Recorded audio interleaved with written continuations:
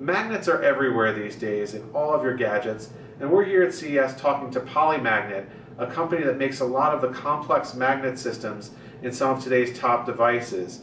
Uh, so we're going to show you some of the things that they enable, uh, and you may be finding them in some of your some of your favorite devices. So uh, they use um, really uh, patterned magnets to allow different types of magnet interaction that are that are really important. So this one is what they call a latch, and you probably see this in some of your uh, two-in-ones and uh, notebooks actually where the lid closes, where if you bring these things close together, boom, they snap really hard. But they, I had to push them fairly close together before they attracted. Um, over here we have one that's called a spring. Uh, it looks the same in this model, but it's very different.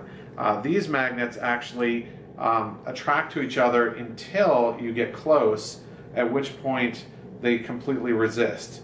Why would why would you want this? Well, let's say you had something like a two-in-one where you're trying to put the tablet back onto the keyboard and you want to be able to guide it into a certain location, but you don't when you get close enough to put it on the on the system, you don't want to have it like snap you into place and really hard. You'd use something like this spring where it it sort of brings you in, but then it, it resists at the last uh, few you know last little space there. Finally, here we have one that's a combination of the two. It is a uh, latch spring. Uh, so what it does is it comes down it, uh, like the spring and it resists at the end, but if you turn it uh, just the right way to get the right angle, then it becomes a latch and, and springs together. Well, how would you actually use this in, in real life? Let's show you a couple of examples. There are a lot of products out there that use this, uh, but we can't say the names of them because they're not. Uh, we're not allowed to to say uh, whose whose devices that they're in uh, in in a lot of cases. So uh, here what we have is uh, a prototype, and um, this little magic strip here actually shows us where the magnets are underneath. This is really cool. So you see there's this pattern magnet over here at the top of the lid, and a pattern magnet over here, the rest the top of the lid, and then down here on the deck, there's another pattern magnet. So, and there's a there's a little spring here for moving this back and forth. So watch what happens when I push this down, right? Uh, the spring is is in action. I, this doesn't actually close all the way. Uh, this allows me not to slam it shut, which would no one would want to do. But if I want to really close, I move this latch here, and boom, it's completely shut really tight. And the reason for that is that the magnets are moving into alignment.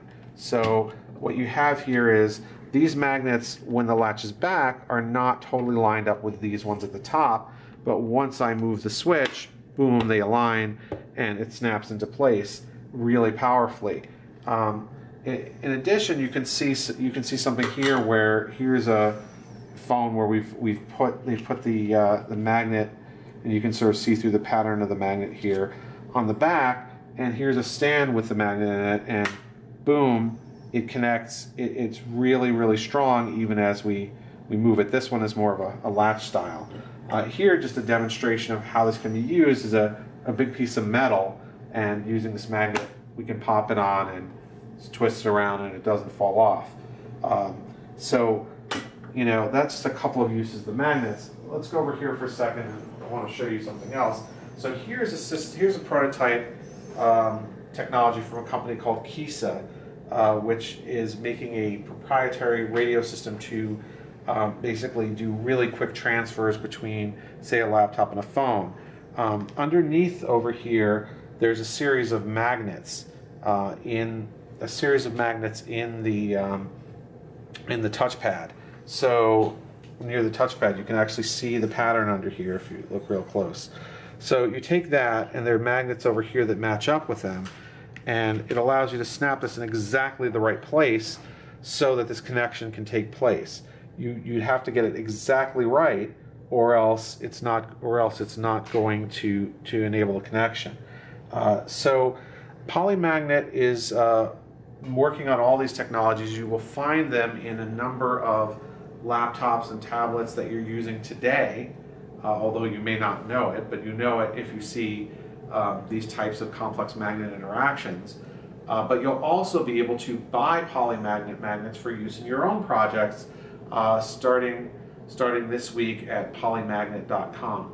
So that's just a quick look at some of the really fascinating magnet technology from Polymagnet.